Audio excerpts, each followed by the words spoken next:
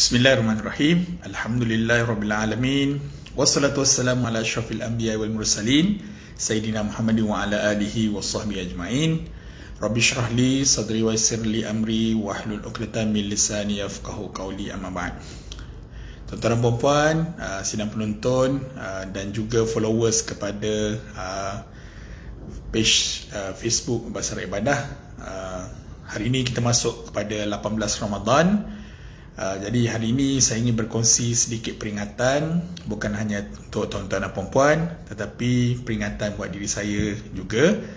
Um, kalau kita lihat secara ringkasnya banyak fadilat uh, yang diberikan oleh Allah SWT pada bulan Ramadan ini selain daripada kita buat ibadah wajib kita kita juga digalakkan untuk mempertingkatkan mutu dan juga bilangan uh, amalan-amalan sunat kita dan kita juga sangat-sangat digalakkan untuk kita memperbanyakkan bacaan Al-Quran. Tetapi ramai yang bertanya sebenarnya uh, dia kata Hamimi boleh tak kongsikan uh, dengan saya? Boleh tak kongsikan dengan Pak Cik dengan Mak Cik? Macam mana nak mempertingkatkan motivasi kita untuk membaca Al-Quran? Jadi secara santai eh untuk pada tengah hari ini saya ingin berkongsi dengan tuan-tuan puan-puan uh, yang saya kira saya kumpul-kumpul lah. Ada dalam uh, 8 perkara yang boleh kita lakukan untuk mempertingkatkan kita punya motivasi uh, untuk kita membaca Al-Quran. Terutamanya di bulan Ramadan ni lah Allah akan melipat gandakan Uh, yang lipat ganda yang kita sendiri tak tahu berapa banyak. Allah saja yang tahu berapa banyak dia nak gandakan. Uh, okay, so saya rasa ia adalah tawaran yang amat baik, satu bonus buat kita. Uh, jadi tanpa masa saya nak uh, kongsi yang pertama tips untuk kita tingkatkan motivasi membaca Al-Quran ni adalah kita perlu menyediakan ruang yang selesa. Jadi kalau kita nak baca Al-Quran tu make sure tempat kita nak baca. Kalau setengah orang ada pakai rehal, ada seorang ada orang pakai meja. Jadi pastikan tempat ruang yang kita gunakan untuk membaca Al-Quran, untuk tilawah Al-Quran itu tempat yang selesa, apa kalau perlukan pencahayaan kita adakan pencahayaan yang baik supaya kita nampak setiap kalimah yang kita nak baca. Itu yang pertama. Yang kedua adalah kalau boleh kalau kita rasa sunyi untuk membaca seorang diri kita boleh ajak rakan kita boleh ajak jiran kita boleh ajak uh, kaum keluarga kita adik kita anak kita isteri kita untuk teman kita membaca bersama. Barulah kita ada semangat. Sebab perkara yang kadang-kadang kita suka nak buat ni bila kita buat seorang diri memang dia akan lebih uh, kurang motivasi kita tapi kalau kita buat uh, ada teman dua orang lebih daripada dua orang dia akan jadi lebih semangat lah. Itu yang kedua. Uh, yang ketiga adalah kita boleh mengamalkan uh, apabila kita baca Al-Quran kita baca sambil melihat makna. Jadi ini memerlukan kepada Al-Quran tafs, uh, tafsir Al-Quran terjemahan ataupun Al-Quran perkata yang boleh membantu kita uh, sambil kita baca tu kita boleh lihat makna barulah kita seronok kan? Kita faham. Bila kita faham apa yang kita baca maka kita akan bersemangat untuk membaca lebih lagi dan lebih lagi dan lebih lagi. Itu yang ketiga. Tips yang keempatnya adalah uh, kita boleh mencari tempat untuk kita baca Al-Quran.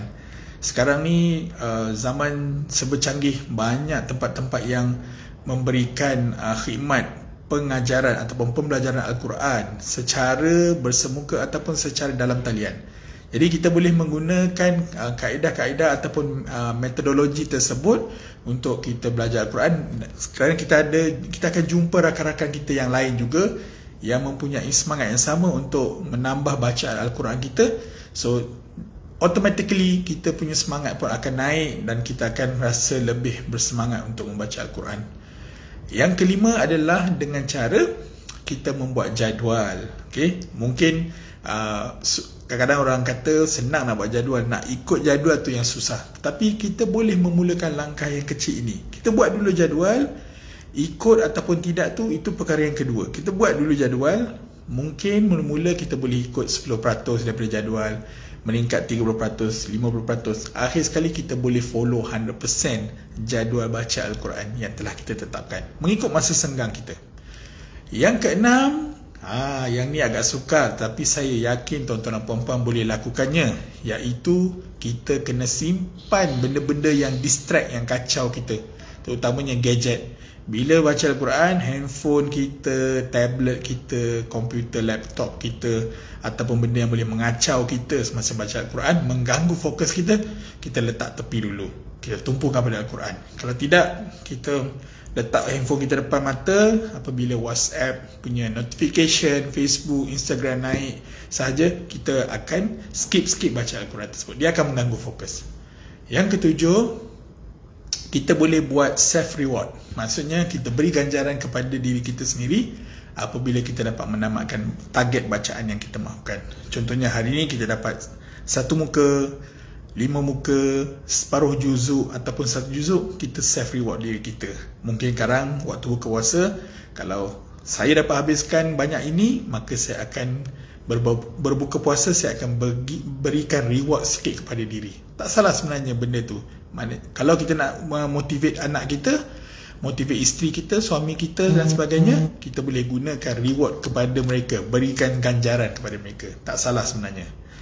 Dan yang ke-8 ataupun yang terakhir sekali kita perlu mengikhlaskan niat kita. Dan semasa membaca tu kita niatkan dalam hati kita kita berdoa pada Allah. Mintalah apa saja semasa baca tu. Contohnya kita baca surah Al-Baqarah contohnya auzubillahi minasyaitanirrajim um, Allahu la ilaha illa huwal hayyul qayyum. Sekiranya kita sambil kita baca tu dalam hati kita kita niatkan ya Allah ampunkanlah dosaku. Ya Allah yang Tuhanku berikan berikanlah aku keampunan. Kita niatkan doa sambil membaca. Maka bacaan kita Dahlah kita dapat lihat makna Kita doa pula dalam diri kita Sesuatu kita minta daripada Allah SWT InsyaAllah akan dikabulkan.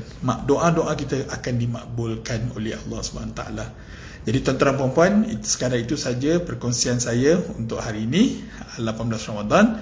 InsyaAllah uh, jangan lupa untuk follow dan support kita punya video-video dan juga bahan-bahan yang kita kongsikan di page Facebook Bahasa Arab Ibadah. Bahasa Arab Ibadah Wabillahi taufiq wal hidayah. Wassalamualaikum warahmatullahi wabarakatuh.